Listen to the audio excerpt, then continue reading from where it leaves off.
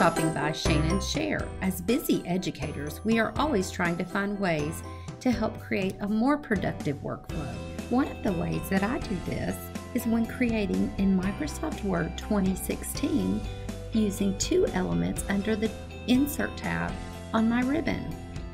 The first one is the document item. I can quickly reuse or add parts of documents that I have saved. The second one is the screen clipping feature. This allows me to quickly screen clip from background windows.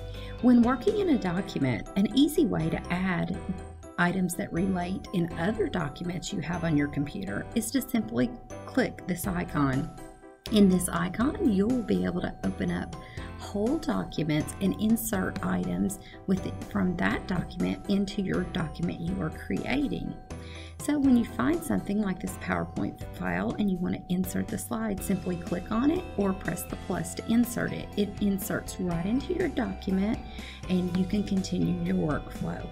Another item that I find very helpful is using the screen clipping. It's also under the Insert tab. So when I click screen clipping, I can go to my web page that may be in the background and I can simply click the item that I would like to have included in my document and work from there.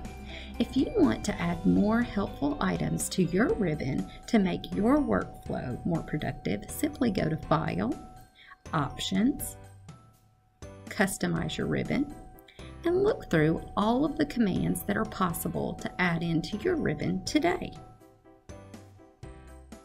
Thanks for joining in. Have a great day.